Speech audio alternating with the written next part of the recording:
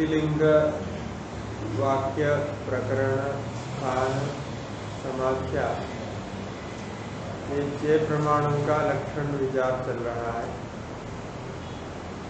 पहले, श्रुति है, श्रुति का लक्षण दिया। क्या लक्षण है? निरपेक्षो रवा तो इसके बाद लिंग का लक्षण दिया। लिंग क्या है? शब्द सामर्थ्य लिंगम।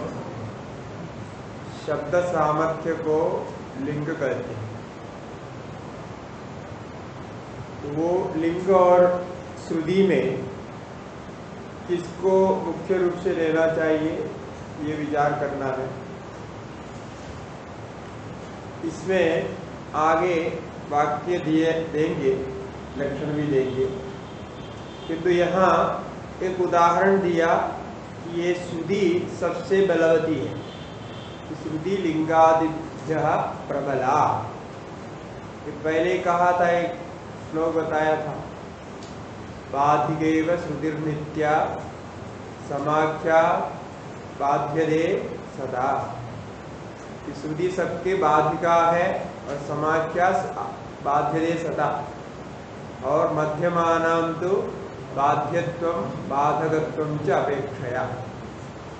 बीच में जो है, बाधित भी होता है, पूर्व की अपेक्षा करके, परस्पर अपेक्षा करके होता है। तो बाधिक श्रुति नित्या यही कह रहे हैं कि श्रुति लिंगादि से प्रबल है। इसके लिए एक उदाहरण दिया। ऐन्द्रिया गार्भवत्यम उपतिष्ठते। इंद्रिया यहाँ षष्टी एक वचन है, लेकिन अर्थ में तृतीया है। ऐसा माना है। इंद्रिया गार्भवत्यम उपतिष्ठते इंद्रिय ऋचा के द्वारा गार्भवत्य को उपस्थापन करता है। तो उपतिष्ठते का अर्थ भी कल बताया था। या तो उसके सामने उत्थान करना समीप गमन इंद्रिया में यहाँ संशय है कि इंद्रिया को इंद्र संबंधी ऐसा लिंग प्रमाण से मानना चाहिए, अथवा गार्भवत्यम ये द्वितीय श्रुति को लेके गार्भवत्य के साथ संबंध करना चाहिए। ये संशय है। तो प्रसिद्ध अर्थ में यदि लिंग प्रमाण से लेते हैं, तब तो वो इंद्र संबंधी ऋचा हो जाए इंद्र संबंधी क्या ऋचा है, वो ऋचा के बारे में टीका में कहा है।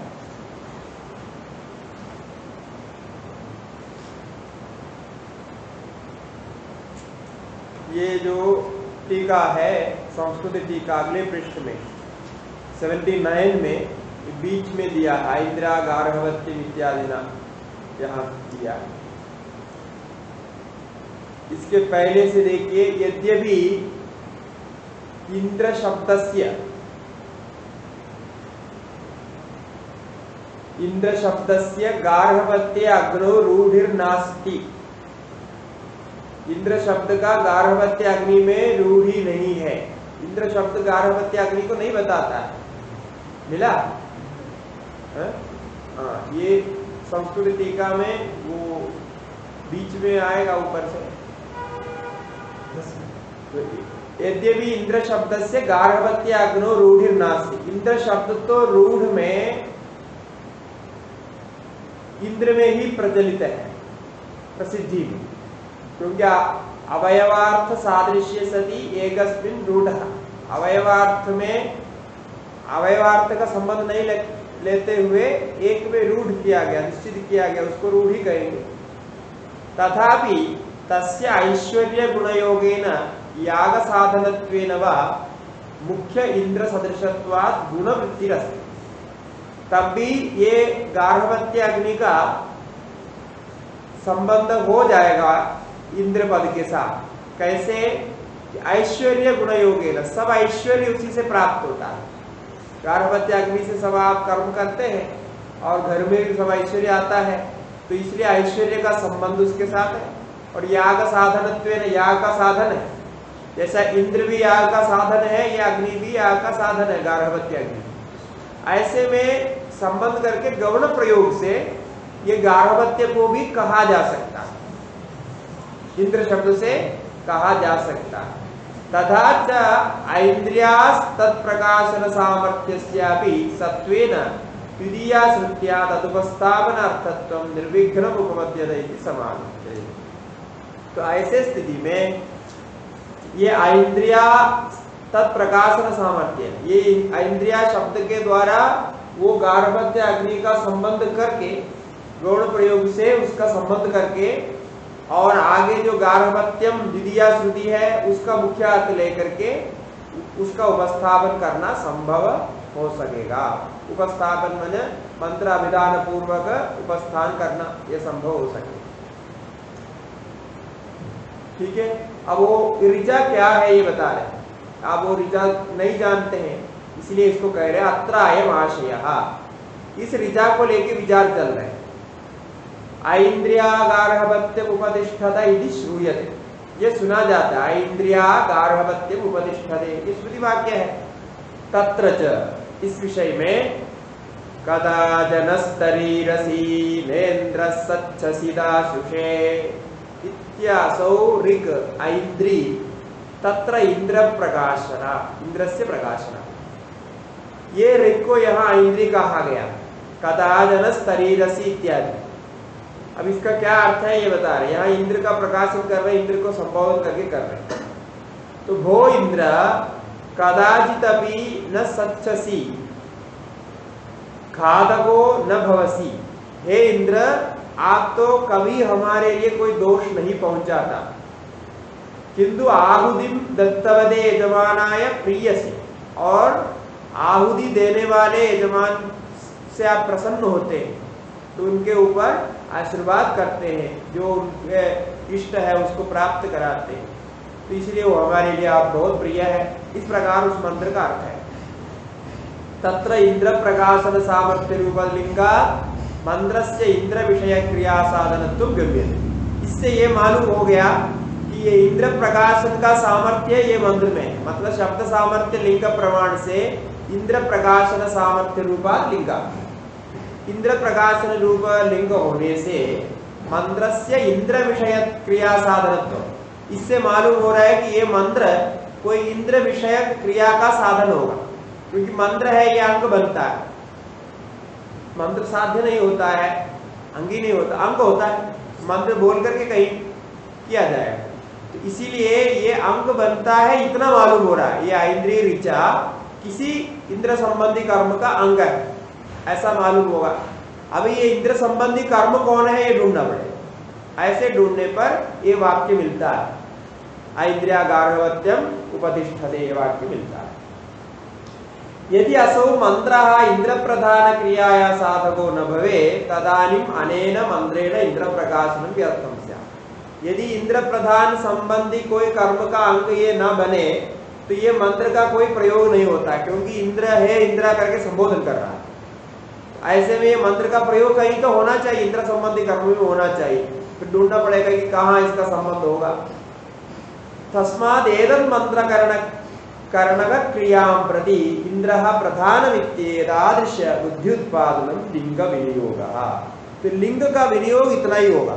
लिंग क्या बताएगा? शब्द सामर्थ्य से इतना ज्ञान होगा, ये ऐन्द्री ऋचा कोई इंद्र संबंध कर्म को ही बता रहा है, उसके साथ इसका संबंध है। इतना बताए अब इंद्र कौन है? इसके विषय में आपको श्रुति के अन्य अंश को लेकर के निर्णय करना है।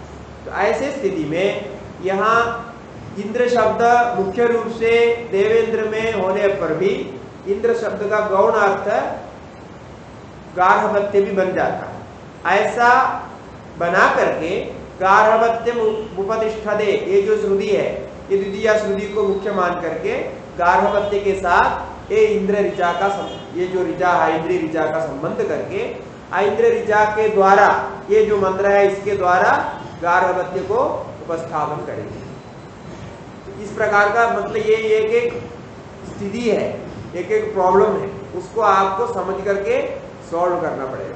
ब्रह्मसूत्र में भी ऐसे आएगा। पूर्व पक्ष देगा, फिर उसका सिद्धांत आएगा तो उसको सॉल्व करने के लिए। तो अभी एक स्थिति हो गया है, ये मंत्र हमारे पास है तो उसको कहाँ प्रयोग करना मालूम नहीं पड़ रहा है, और इंद्रिया गार्भवत्य ये क्या होता है, ये भी मालूम नहीं हो रहा है। ऐसे स्थिति में ये दोनों का संबंध इस प्रकार से करना पड़ेगा। तो श्रुति को मुख्य मान करके वहाँ लिंग प्रमाण को गौण माना। तब क्या हुआ ये जो कदा कदाचन तरीरसीनेन्द्र इत्यादि जो मंत्र है, वो ये गार्हवत्य उपस्थापन के लिए अंग बन गया। इस प्रकार से इसका निर्णय कर सकते हैं, ये कहा।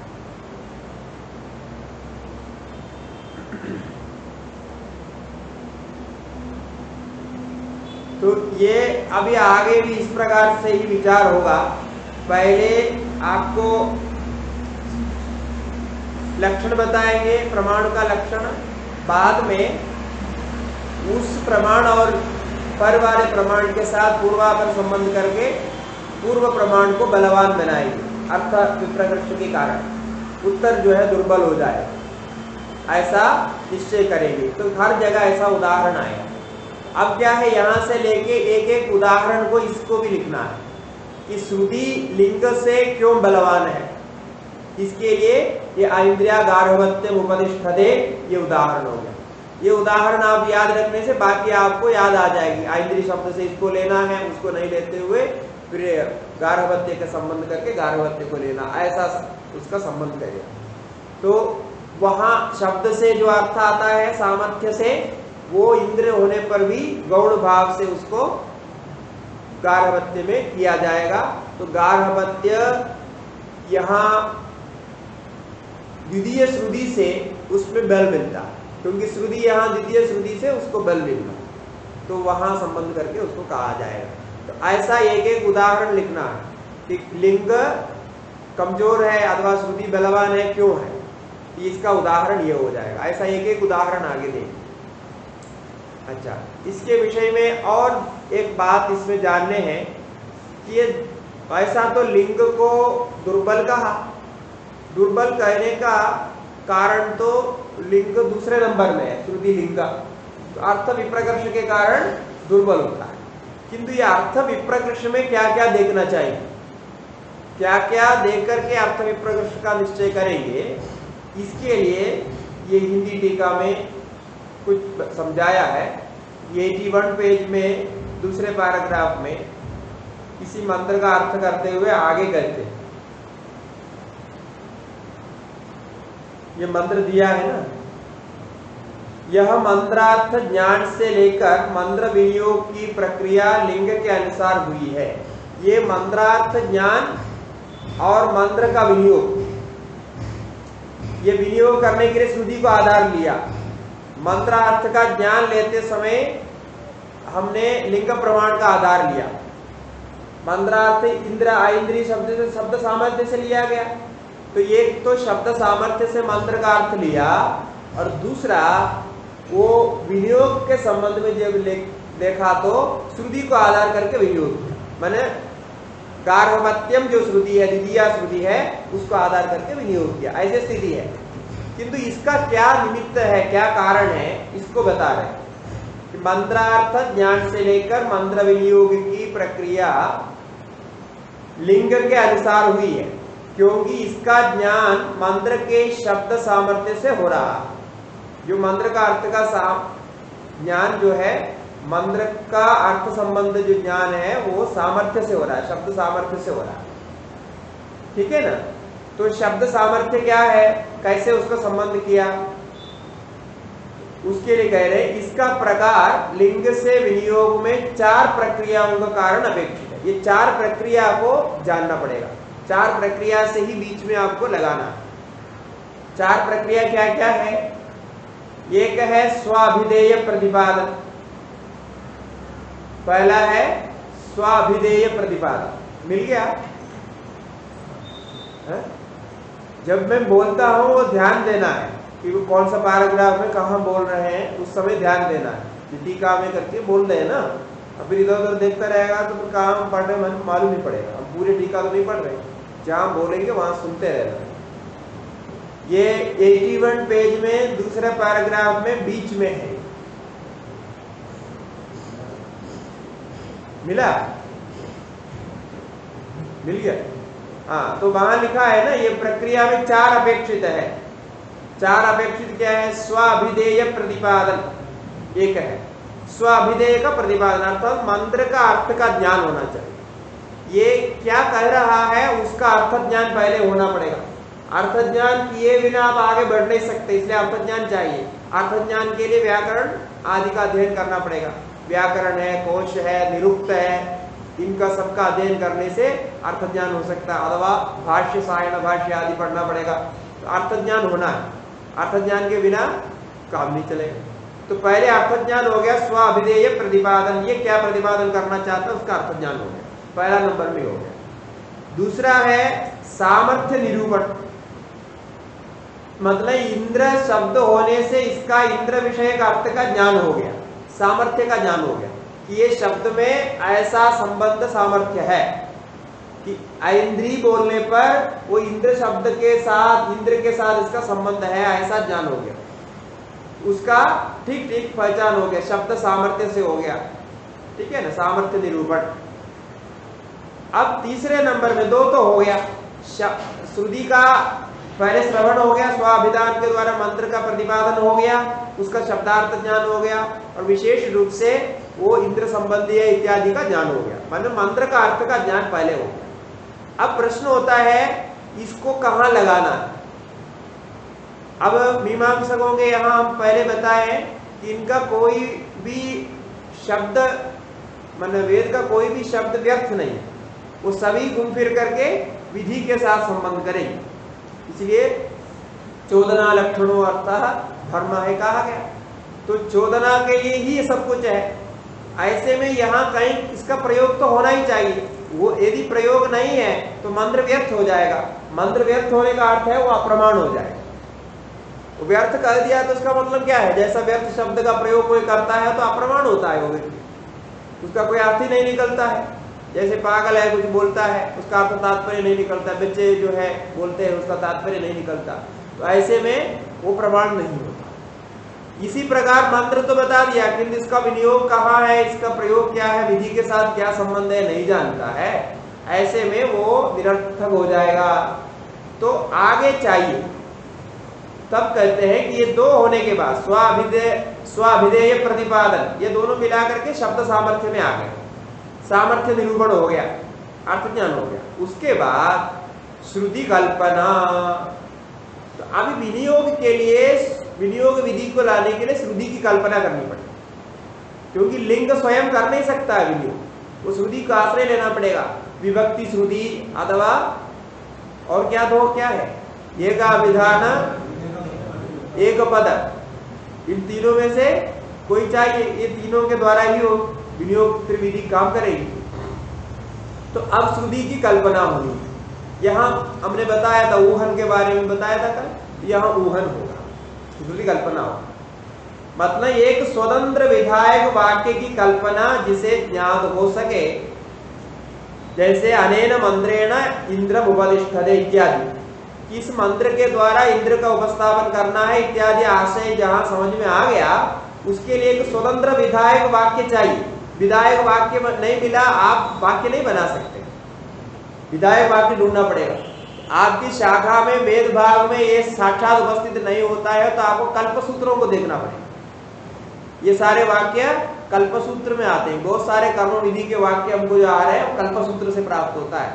इसलिए वो जो षडंग में जो शिक्षा, कल्प, व्याकरण में ना, ये कल्प सूत्र आते हैं, ये गृह सूत्र है। कल्प सूत्र में तीन होते हैं।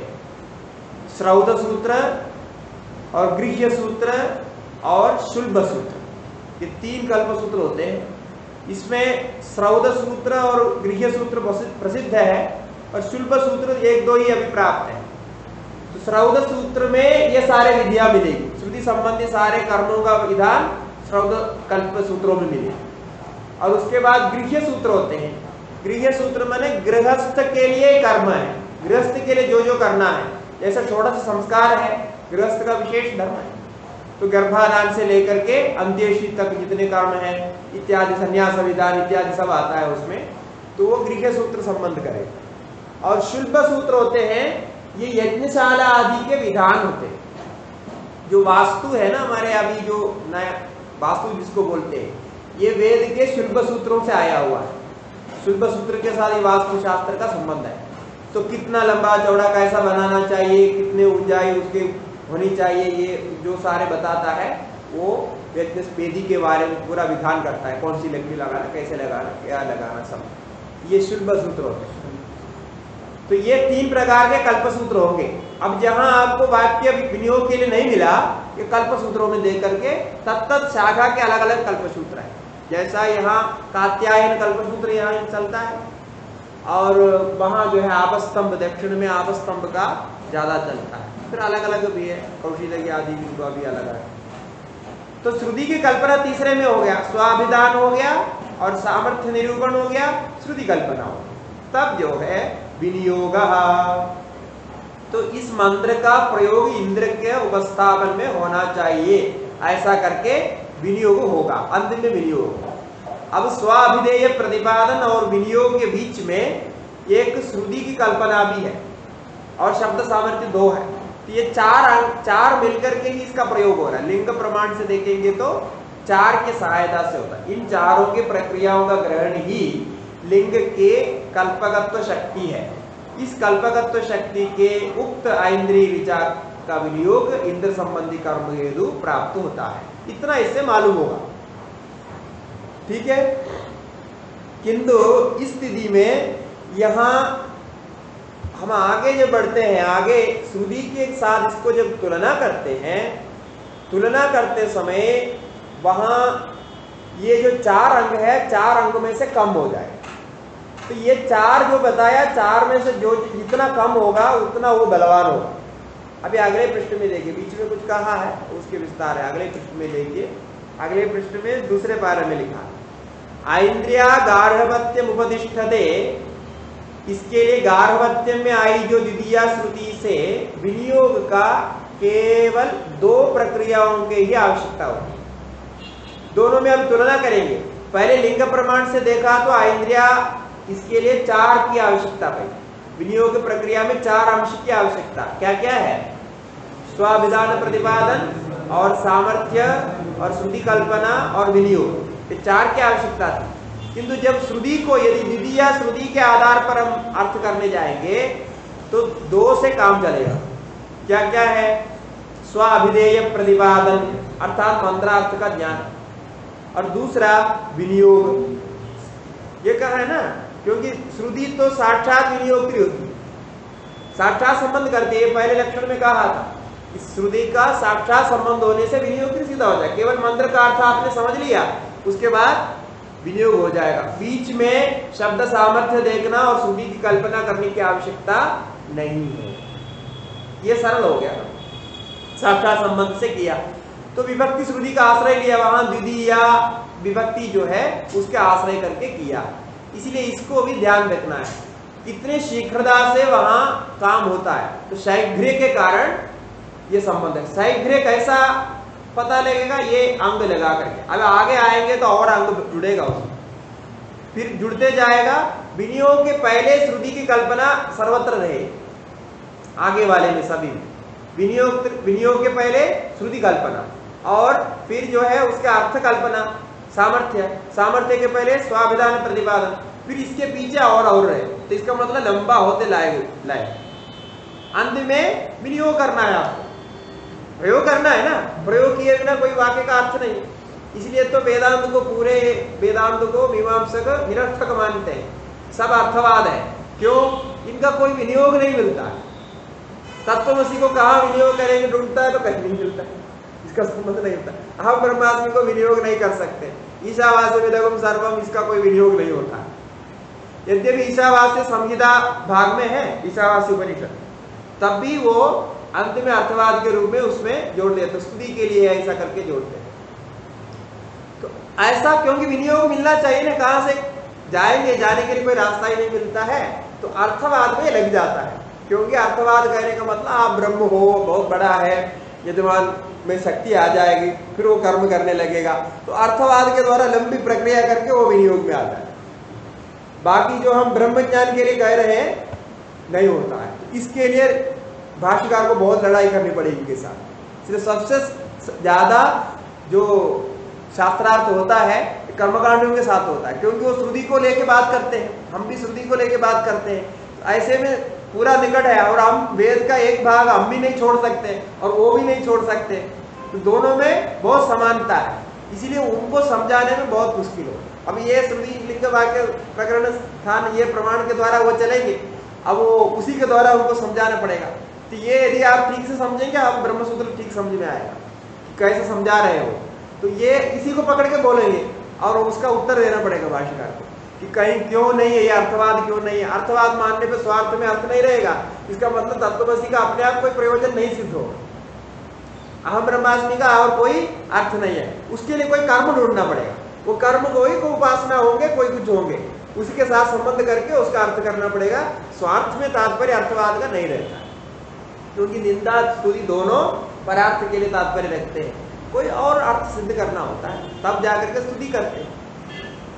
तो ये यहाँ विशेष रूप से आपको ध्यान रखना पड़ेगा। तो श्रुति का अंग, श्रुति को करने के लिए केवल दो चीज़ चाहिए। स्वाभिधान होना चाहिए मतलब प्रतिपादन, स्वाभि स्वाभिधेय का प्रतिपादन होना चाहिए। शब्द ठीक अर्थ समझना चाहिए। कोई अभिधेय हो, कहने के कोई वस्तु हो, उसका प्रतिपादन उसमें आ गया हो, ऐसा होना चाहिए। जैसा इंद्री में इंद्र जो है स्वाभिधेय उसका प्रतिपादन हो रहा है। कैसे? शब्द सामर्थ्य से। दूसरा नंबर शब्द सामर्थ्य से हो रहा है। अब श्रुति, विनियोग में तो श्रुति की कल्पना की आवश्यकता नहीं। श्रुति स्वयं श्रुति है तो आगे विनियोग हो जाए। ये उनका मैथमेटिक्स है। इसको हिसाब से रखना। है तो अभी क्या हो गया? षट लिंग हो गया। फिर इसके बीच में आने वाली ये प्रक्रिया होगी। इसके द्वारा आप ठीक समझेंगे कि कैसे वो आगे निर्णय करेगा। इसका हिंदी अर्थ आप बाकी अपने आप पढ़ सकते हैं इसमें आपको समझ में आ जाएगा। अब जो है लिंग का स्वरूप निर्णय करते हैं। लिंग का लक्षण आदि देते हैं। शब्द सामर्थ्यम लिंगम। यथाहु सामर्थ्यम सर्वशब्दाना लिंगमित्यभिधीयते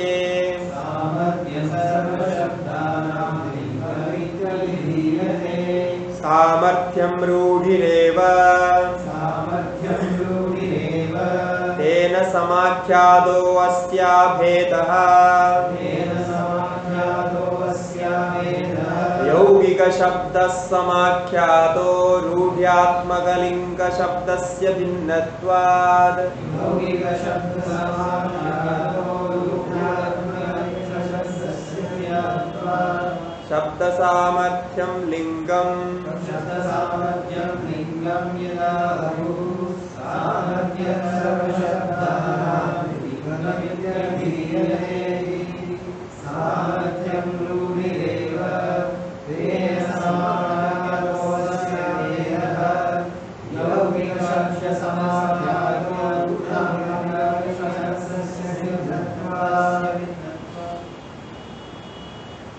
देखिए, लिंग निर्वचन। लिंग के बारे में कल कहा था, ये अन्य सब लिंगों से अलग है।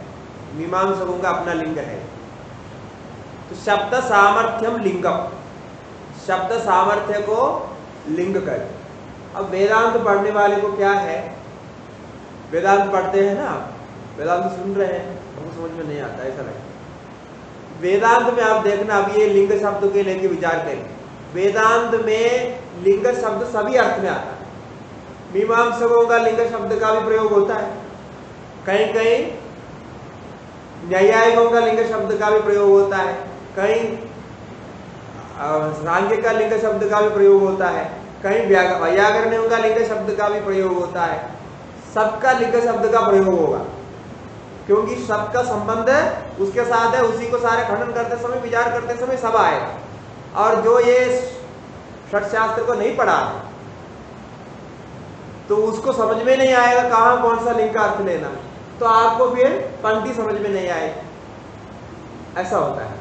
इसीलिए वेदांत पढ़ने के लिए जितने हमारे भाष्य आदि है, वेदांत में जो उपनिषद को छोड़ दीजिए, जो मूल ग्रंथ को छोड़ के भाष्य और टीका आदि आपको पढ़ना है तो ये षट दर्शनों का ज्ञान के बिना नहीं हो सकता। षड दर्शन भी चाहिए, कुछ नास्तिक दर्शनों का भी ज्ञान चाहिए। नहीं तो ये शब्द का ठीक निर्वचन नहीं कर पाएँगे, समझ में नहीं आएगा लोग जल्दी जल्दी पढ़ने के चक्कर में छोड़ देते हैं और अंत तक उनको समझ में नहीं आता। पूरा जीवन ही अधूरा रह जाता, समझ में नहीं आता वेदांत क्या बोलना चाहिए क्योंकि पंक्ति नहीं लगा पा रही। तो उसमें आपको आचार्यत्व प्राप्त करना है, उसमें ठीक से उसको समझना है, समझाना है तो सामान्य रूप से ये आस्तिक, षड आस्तिक दर्शनों को पढ़ना ही पड़ेगा। उसके बिना वेदांत में प्रावीण्य प्राप्त नहीं कर सकते। अब यही प्रमाण है, देखिए अभी लिंग शब्द से यही कह रहा है यहाँ। मीमांसक तो लिंग शब्द से इसी को गाए है ना? अब हमारे यहाँ तो यही, ये भी प्रयोग करते हैं। बहुत जगह इसको प्रयोग किया है। श्रुति लिंग वाक्य प्रकार इस सूत्र को भी प्रयोग किया। तो ये वहाँ आएगा तो ये लिंग लेना पड़ेगा वहाँ। हेतु रूप जो नैयायिक होगा लिंग से नहीं चलेगा और कोई लिंग नहीं चलेगा। यहाँ सीधा बताता है, शब्द सामर्थ्यम लिंगम। शब्द में जो सामर्थ्य है, उसको लिंग कहते यहाँ सामर्थ्य दो प्रकार का माना। अर्थ सामर्थ्य और शब्द सामर्थ्य। दो सामर्थ्य है। शब्द सामर्थ्य और अर्थ सामर्थ्य। इसमें शब्द सामर्थ्य को अर्थ सामर्थ्य का भी उपलक्षण समझ लेना। कि शब्द सामर्थ्य का उदाहरण यहाँ देंगे। अर्थ सामर्थ्य के बारे में ये उदाहरण आगे देंगे। श्रुवेण अवध्यति, स्वधिना अवध्यति, हस्तेन अवध्यति इत्यादि में ये अर्थ सामर्थ्य से लिया जाता है। शब्द सामर्थ्यम लिंगम अभी आपको आइंद्री का उदाहरण दिया, वो शब्द से अर्थ लिया गया। इस प्रकार से यहाँ दूसरा उदाहरण देंगे। तो ये शब्द सामर्थ्यम लिंग के साथ अर्थ सामर्थ्यम लिंगम ये भी जोड़ देना। ठीक है? ये संस्कृत टीका में शुरू में ही इसको कहा है। सामर्थ्यम विविधम। संस्कृत टीका में तृतीय पंक्ति देगी तीसरी तीसरी लाइन में। सामर्थ्यम द्विविधम शब्दगदम, अर्थगदम च। इसलिए टीका बहुत जगह उपयोगी है। जगह जगह आपको इसका अर्थ लेना पड़ेगा। तो सामर्थ्यम द्विविधम दो प्रकार के है। शब्दगदम अर्थगदम दो प्रकार का सामर्थ्य लेना पड़ेगा। यद्यपि उन्होंने एक को कहा तो दूसरे का उपलक्षण समझना चाहिए अब टीका इसलिए हम पूरे नहीं ले रहे हैं, बहुत विस्तार टीका है। और आप नए विद्यार्थी हैं, इतने टीका पूरे लेकर के जाएँगे तो फिर कोई आएगा नहीं। अभी इतने में समझे, जो भी संक्षेप में बीच बीच में से चाहिए, उसको जोड़ रहे टीका कैसा आपको पकड़ना है, ये आपको समझ में आएगा। फिर स्वयं पकड़ सकते हैं। यदि समय रहा तो फिर दोबारा पूरा कर सकते यदि ज़्यादा उसमें पढ़ने की तत्परता है। क्योंकि ये आगे आगे के बातें ही पीछे ला करके बोल रहे हैं। और जो मीमांसा न्याय प्रकाश है, उससे बहुत सारे बातें ली हुई है। तो वो उसी का संक्षिप्त रूप है ये। तो टीका में बहुत सारे वही है। वहीं से लाते हैं। और मीमांसा न्याय प्रकाश है, न्यायमाला है, इत्यादि ग्रंथ है, उसमें से ये लाते हैं। तो सामर्थ्यम द्विविधम शब्दगतम अर्थगतम च। तत्र यस्य लक्षणम अत्र उक्तम तत्रैव वृद्ध संबंधी प्रदर्शयना उसका जो शब्दगत का जो आद्य का लक्षण, तत्र आद्य से लक्षण, पहले वाले का लक्षण इधर मूल में दिया। किसका? शब्दगत सामर्थ्य तो शब्द से सीधा सामर्थ्य लेना। अर्थगत सामर्थ्य से अर्थात ज्ञान होगा। वो कैसा है? जैसा एक उदाहरण है श्रुवेण अवध्यति। श्रुआ होता है, ऐसे एक लंबे पात्र होते हैं, जिससे आहुति डालते हैं। घी का आहुति डालते हैं। जो द्रव पदार्थ है, उसका आहुति डालने का पात्र होता है। उसको बनाने का नाप है, उसके सामने से वो दो रहेगा, ऐसा आकार में रहेगा, उसके बीच में से कटा हुआ होता है, फिर उसमें लंबा रहता है, पीछे पकड़ होता है। इसमें दो भाग होते हैं। दो भाग रहने से उसका कुछ तात्पर्य होता है।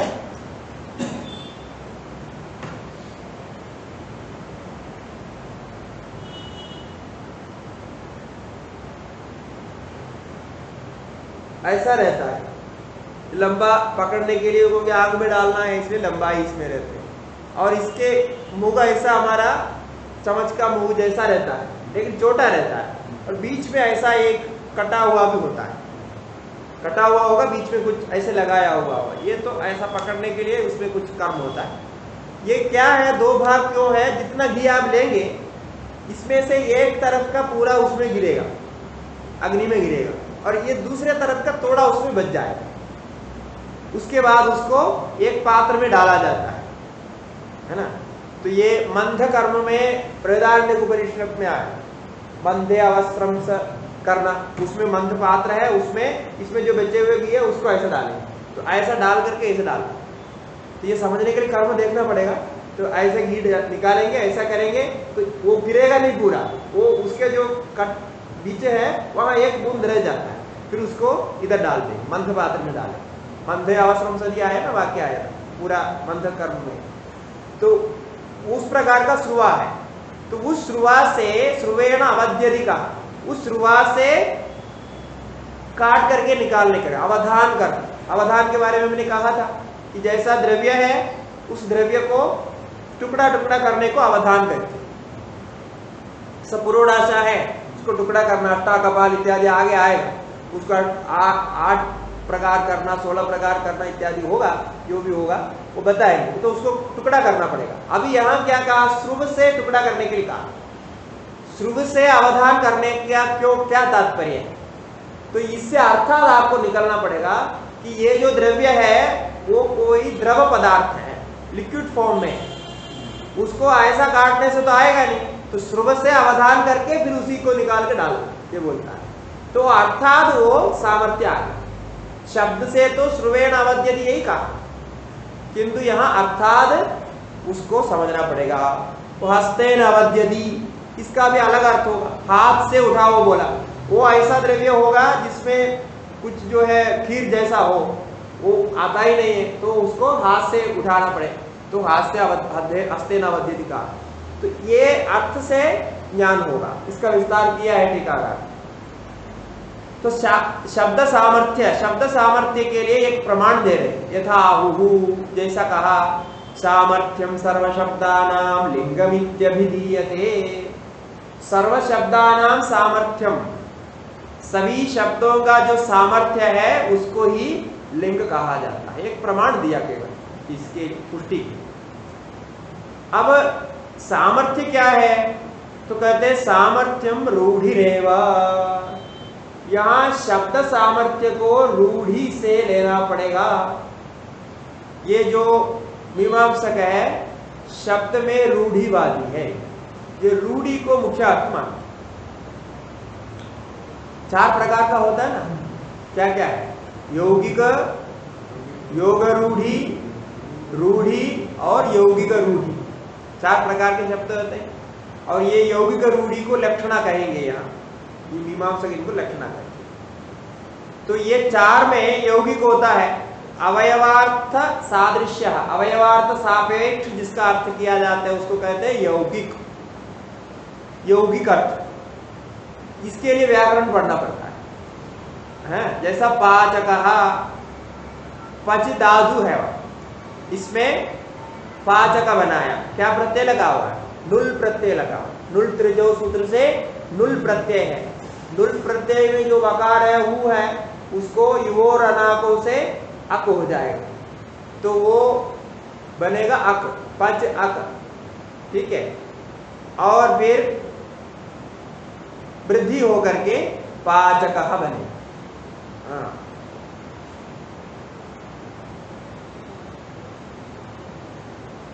नित प्रत्यय है ना नित प्रत्यय ना निधि से हो जाएगा, वृद्धि होकर के पाचक बने। तो ये क्या हुआ कि जो नुल त्रिजो जो सूत्र है, ये कर्ता में, कृदंत में कृत प्रत्यय करता है। तो कर्ता अर्थक होता है, कर्तरीकृत। कर्ता में अर्थ होगा। इसका मतलब पकाने वाला ऐसा अर्थ निकल तो पज दादु से आप पकाने वाला ऐसा अर्थ किया। तो पादक, वादक, ऐसे ऐसे सब उसी में से बनेगा तो वो क्या धातु का अर्थ भी वहाँ आ गया और प्रत्येक अर्थ भी साक्षात आ गया। पकाने वाला ऐसा बनेगा इसको कहते हैं यौगिक। इस प्रकार से योग रूढ़ी होता है। योग रूढ़ क्या है? कि अवयवार्थ सादृश्य होता हुआ एकस्मिन रूढ़ होगा, उसको कहते हैं योग रूढ़ अवयवार्थ सादृश्य सदी, एकस्मिन रूढ़ योग रूढ़ जैसे पंकज पंगा जाता पंकज। इसका अर्थ भी लेते हैं विग्रह अर्थ भी लेते हैं। पंग से पंग मन कीचड़ होता है, कीचड़ से उत्पन्न है उस पंकज कहते पंगात जाता पंकज किंतु पंकज कहने पर कीचड़ से उत्पन्न बहुत कुछ होता है। कीचड़ से कोई कीड़ा भी निकलता है, कोई अन्य भी पौधे निकलते हैं, सब कुछ निकलता है। किंतु वो कमल में रूढ़ हो पंकजा बोलने पर कमल को ही लेते हैं। कीचड़ में होने वाले अन्य पौधों को नहीं लेते, अन्य कीड़ा आदि को भी नहीं लेते। पंख से उत्पन्न होने मात्र से पंकजा नहीं कहेंगे। पंख से उत्पन्न होता हुआ है किंतु वो कमल में रूढ़ हो गया। कमल को ही पंकजा कहेंगे इसको कहते हैं योग रूढ़ शब्द। अब उसके बाद रूढ़ी है। रूढ़ी क्या है? अवयव निरपेक्ष होता है। रूढ़ी में व्याकरण के दृष्टि से जो धातु प्रत्यय लगा होगा, उसका अर्थ नहीं लेंगे। ये किसी में एक में माना जाता है। जैसे मंडप। मंडम पादी मंडप ऐसा बनता है। मंड मन मांड होता है। मांड ये जो चावल पकाते हैं, चावल पकाने के बाद जो है वो जो जल उसमें जो ऊपर आ जाता है, उसको कहते हैं मंड। तो मंड को पीता है, वो चावल का जो पका करके उसका जो ऊपर का मांड पीता है, उसको हिंदी में मांड बोलते हैं, मांड पीता है। तो मंडम पादी मंडा ऐसा होगा। तो उसका यदि अवयवार्थ लेंगे तो मांड पीने वाला ये अर्थ होता है। किंतु मंडप शब्द का वहाँ नहीं प्रयोग होता। मंडप मैंने जैसे हमारे पूजा आदि के लिए जो मंडप बनाया जाता है, उसी को मंडप कहते हैं। तो अन्यत्र हो गया ना, रूढ़ हो गया। अवयवार्थ कुछ और है, रूढ़ी कुछ और, उसके साथ कोई संबंध नहीं। जैसा गच्छदीदी गौ, जो जाते हैं उसको गौ कहते हैं। तो जाने वाला गौ है तो फिर हम सभी गौ हो जाएँगे। जो हम भी तो जानते हैं ना? किंतु वो गौ शब्द उस जानवर विशेष में रूढ़ है। बाकी मनुष्य आदि को गौ नहीं कहने, वो सब जाते हैं तो भी गौ नहीं होगा। ये रूढ़ी होता है। अब मीमांसक रूढ़ी को मुख्य मानते हैं, बाकी को गौण मानते हैं, ये आपको पता चलेगा। इसका कारण बहुत है। रूढ़ी माने जो शब्द में सामर्थ्य हो गया, इसको बोल ना, सामर्थ्यम रूढ़ी रेवा ऐसा ऐसा माने इसमें जो वैयाकरणी है, वैयाकरण जो है, वो योगी को मुख्य मानते हैं, क्योंकि व्याकरण के हिसाब से उनका निकलता है। इसलिए वो योगी को ज़्यादा बल मानते हैं सीधा सीधा अर्थ निकलता है। बाकी जो है निपादन आदि से जो सिद्ध शब्द है, इत्यादि करके मान लेते हैं। अच्छा और उसके तृतीय, चतुर्थ एक होता है, योगी का रूढ़। योगी का रूढ़ में, योगी रूढ़ को मीमांसा का लक्षक भी कहते हैं, लक्षणा भी कहते हैं। लक्षण शब्द इसमें क्या होता है कि अवयवार्थ से एक जगह अर्थ लेंगे और अवयव निरपेक्ष से दूसरे जगह लेंगे ऐसा होता है। अलग अलग में अलग अलग देगा। एक शब्द का दो अर्थ होगा। दो अलग अलग विषय होगा। जैसा एक उद्भिजा शब्द है। उद्भिजा अभी आया ना? उद्भिजा यजेद वृष्टिकाम। आया था। उद्भिदा उद्भिदा यजेद वृष्टिकाम। उद्भिद एक याग का भी नाम है और वृक्ष का भी नाम। उद्भिनक्ति उद्भिद, ऐसा बने जो छेद करके, फाड़ करके निकलता है, ऐसा। मैंने ऊपर के ओर आना और फाड़ करके निकलना इस अर्थ में वृक्ष हो जाएगा। वृक्ष जो है, ये बीज को फाड़ करके निकलता है और ज़मीन से ऊपर आता है। ज़मीन को फाड़ के ऊपर आता है। ये वृक्ष में हो जाएगा, ये यौगिक अर्थ में हो गया वृक्ष में यौगिक अर्थ। किंतु ये कि याग का भी नाम है, जो वृष्टि काम के लिए याग है, वो याग का भी नाम उद्भिज है। उद्भिज हो गया। तो वो तो रूढ़ में है। याग कोई फाड़ करके निकलता कुछ नहीं है ना? तो वो रूढ़ में, नाम में कर दिया। तो जितने नाम होंगे, बहुत सारे नाम ऐसा होता है। अलग अलग होंगे। कहीं यौगिक होता है, कहीं रूढ़ जैसे राम शब्द है। राम शब्द का अविपन्न पक्ष में लेने पर वो राम जो है अयोध्यापति राम हो जाए। अयोध्यापति राम है, रूढ़ है। और राम को रमनते अस्मिन योगिना या रमनते, रमन रमन करना इस अर्थ में लेंगे गए प्रत्यय करके। तो कारण या अधिकरण में इसके द्वारा रमन किया जाता है या इसमें रमन करते हैं। ऐसा अर्थ में लेंगे तो जहाँ भी रमण होता है, जहाँ भी आनंद होता है, वो हो जाएगा। जैसे कठोपनिषद में वाक्य आया, रामा, ऐसा शब्द आया। वहाँ अप्सराओं को कहा गया है। अप्सराओं से रमण होता है, इसके कारण उनको रामा कहा गया शब्द एक जैसा दिखता है। किंतु एक में यौगिक अर्थ से लिया, एक में रूढ़ी अर्थ में लिया। तो नाम है राम जी का तो इसलिए वो रूढ़ी हो यहाँ उद्भिज का याग का नाम है। ये भी याद रखना पड़ेगा आपको। ये पूरा प्रकरण जब तक एक चलेगा ना, ये चार के बारे में बहुत सारे बातें आएँगे। हाँ तो पहले वाला चार हो गया, अब ये चार हो गए। क्या क्या है? यौगिक, रूढ़ी, योग योग रूढ़ यौगिक रूढ़ चार हो गए। यौगिक रूढ़ी को ये लघु लक्षण भी कहे इसके द्वारा यहाँ सामर्थ्यम रूढ़ी रहेगा ये कहा। अब जो है सामर्थ्य रूढ़ हो गया, इसके बाद एक अंतिम वाले प्रकरण, प्रमाण आएगा समाख्या। यौगिक शब्द समाख्या, ऐसा उसका लक्षण है। यौगिक शब्द को समाख्या कहेंगे। अंतिम में आएगा लास्ट प्रमाण, छठवां प्रमाण। अब उसके साथ इसका भेद दिखाना है। वो भी तो शब्द का संबंध करता है। यौगिक समाख्या, और यहाँ शब्द सामर्थ्य लिंग ये भी शब्द के साथ अर्थ करने वाले हैं। तो कहते हैं, तेन समाख्यादो अस्या भेद। इससे दोनों में भिन्न हो जाएगा। जो समाख्या है, वो यौगिक अर्थ के द्वारा संबंध करेगा। यौगिक समाख्या कहा और ये जो है, लिंग होगा तो रूढ़ है। इसलिए लिंग को पहले रखा होगा यौगिक को अंत में रखा है। और और कहीं नहीं लगाया तो फिर यौगिक अर्थ से ले। ऐसा। ये इस प्रकार से दोनों में भेद हो जाएगा। अब ये जानने के लिए आपको ये चारों का ज्ञान चाहिए। यौगिक से क्या अर्थ लेना है? रूढ़ी से क्या अर्थ लेना है? ये ज्ञान चाहिए ये कह रहे हैं तेना, तेन मने सामर्थ्य को रूढ़ी कहने के कारण। समाख्याद्वास्य भेद, समाख्या से इसका भेद सिद्ध होता है।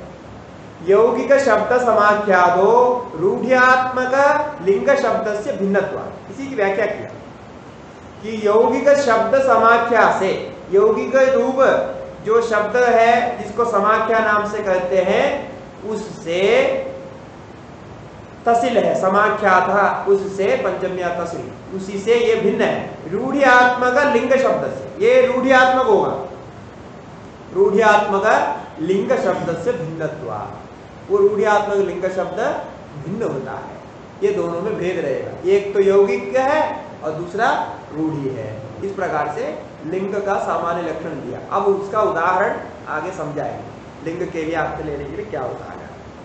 अभी इसमें क्या क्या याद करना है? एक तो लिंग का निर्वचन अभी जो किया है, शब्द सामर्थ्यम लिंगम, अर्थ सामर्थ्यम लिंगम, दोनों ले लेना। तो शब्द सामर्थ्य, अर्थ सामर्थ्य, लिंग, ये लक्षण याद करना। और सामर्थ्यम रूढ़ रेवा यहाँ तक पंक्ति याद करना है। और फिर जो चार बताया है है ना? स्व स्वाभिधेय प्रतिपादन इत्यादि चार। और योग योगिक रूढ़ इत्यादि चार। इसी को ठीक से समझ लेना है तो ये प्रकरण के इसको समझना है बाकी उदाहरण कल आएँगे तो ये लिंग सामर्थ्य का उदाहरण वहाँ लिख दे ओम पूर्णमदः पूर्णमिदं पूर्णात् पूर्णमुदश्यते पूर्णस्य पूर्णमादाय पूर्णमेवावशिष्यते। ॐ शान्ति शान्ति शान्ति।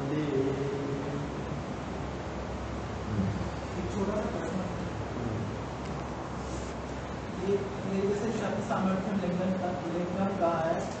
शक्ति जो अभिजान शक्ति होती है और जो नैयायिकों की जो परिभाषा है उसमें उसमें कि अस्मान